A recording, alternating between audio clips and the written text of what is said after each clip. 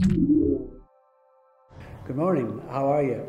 Very happy Christmas to you. My name is uh, Brian Darcy, Father Brian Darcy. As you probably know, I live in the Graan, and it's my privilege this morning to be in your home to wish you a very happy, peaceful, joyous, and holy Christmas. Enjoy the day and enjoy your family.